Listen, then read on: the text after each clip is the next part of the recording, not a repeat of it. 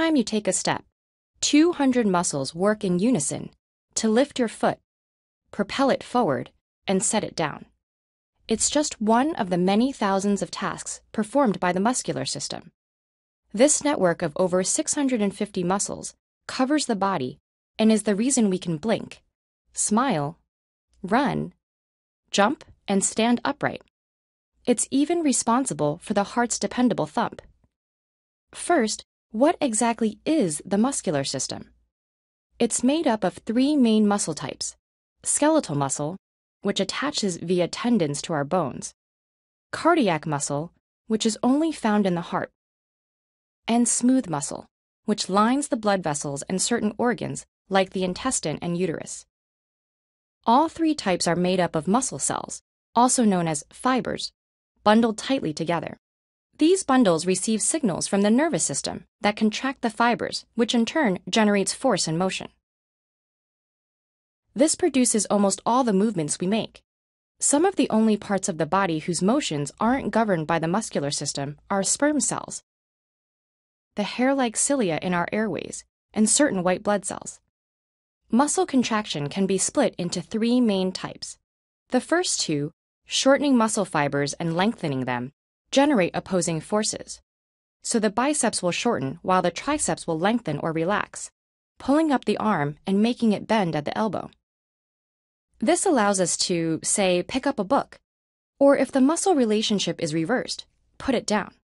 This complementary partnership exists throughout the muscular system. The third type of contraction creates a stabilizing force. In these cases, the muscle fibers don't change in length, but instead keep the muscles rigid. This allows us to grip a mug of coffee or lean against a wall. It also maintains our posture by holding us upright. Skeletal muscles form the bulk of the muscular system, make up about 30 to 40% of the body's weight, and generate most of its motion. Some muscles are familiar to us, like the pectorals and the biceps. Others may be less so, like the buccinator, a muscle that attaches your cheek to your teeth, or the body's tiniest skeletal muscle, a one millimeter long tissue fragment called the stapedius that's nestled deep inside the ear. Wherever they occur, skeletal muscles are connected to the somatic nervous system, which gives us almost complete control over their movements. This muscle group also contains two types of muscle fibers to refine our motions even further slow twitch and fast twitch. Fast twitch fibers react instantly when triggered, but quickly use up their energy and tire out. Slow twitch fibers, on the other hand, are endurance cells. They react and use energy slowly so they can work for longer periods. A sprinter will accumulate more fast twitch muscles in her legs through continuous practice, enabling her to quickly, if briefly, pick up the pace. Whereas back muscles contain more slow twitch muscles to maintain your posture all day.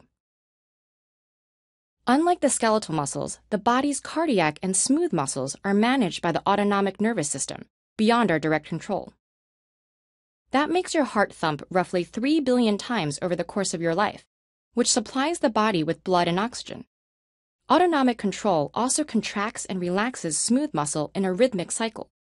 That pumps blood through the smooth internal walls of blood vessels, enables the intestine to constrict and push food through the digestive system, and allows the uterus to contract when a person is giving birth.